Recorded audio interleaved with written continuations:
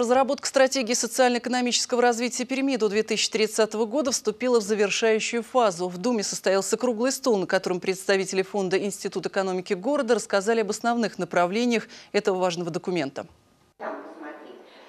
Стратегия социально-экономического развития города станет основой долгосрочного развития города. Это понятие вводится в обновленный устав Перми, который сейчас находится на рассмотрении в городской думе. В фокусе стратегии находится человек – и качество его жизни в городе. Главная цель – сделать Пермь городом лучших возможностей для самореализации человека с комфортными условиями для жизни. Поправки в устав – один из шагов в этом направлении. Они устанавливают подотчетность администрации Думе по основным показателям развития региона. На семинаре разработчики представили главные направления, по которым будет развиваться Пермь. Это жилье, городская среда, здоровье, культура, наука, образование, бизнес и гражданское общество. Определены основные задачи задачи по каждому направлению и индикаторы, по которым будет оцениваться реализация задач. В круглом столе приняли участие представители других муниципалитетов, которые поделились своим опытом четкое разделение властей. И четко ясно, что Дума – это верховная власть, это представительная власть, это власть народа,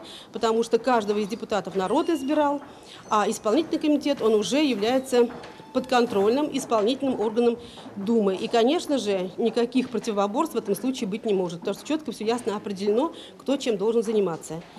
И мы такую схему сохраняем, потому что эта система, она себя у нас в городе оправдала. Мы считаем, что это очень рациональная система. С 2005 года главу Казани избирают из числа депутатов Думы. В прошлом году такую систему депутаты утвердили окончательно. Мэр, который избирается по такой системе, он еще и приобретает, я бы сказала, даже тройную ответственность. Почему? Потому что в этом случае он является подотчетен и всему населению города. У нас так написано в уставе, что мэр подотчетен всему населению города, и он раз в год отчитывается от своей деятельности перед всем населением города. Кроме того, мэр как депутат отчитывается в своем округе, там, где он избран депутат, депутатом о депутатской работе, и мэр подотчетен всей Думе, которая его избрала. Систему управления городом в свое время изменили и в Тюмени. Там раньше избирали главу администрации, теперь его назначает и контролирует Дума. Система управления городом стала более ясной и логичной, и самое главное – эффективной. Сотни миллионов рублей сэкономили на проведении выборов и направили на решение важнейших социальных проблем.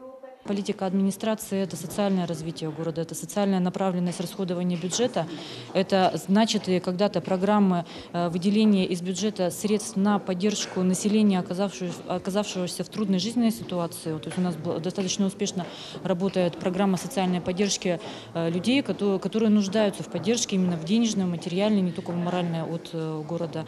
Это благоустройство у нас очень хорошо и сильно развито благоустройство. То есть, ну, в принципе, аспектов, куда можно направить неожиданно получить полученные деньги, наверное, очень много. Дорожное строительство много. Депутаты Пермской городской думы активно участвуют в работе над стратегией. Разработчикам было задано много вопросов и высказаны пожелания по дальнейшей работе. Широкое обсуждение документа продолжается. Глава Перми Игорь Шубин особо подчеркнул, что рассмотрение стратегии развития города будет максимально открытым, чтобы все заинтересованные стороны смогли внести свои предложения и замечания. Сергей Горланов, Владимир Сарамотин, Антон Фиштик, Час пик.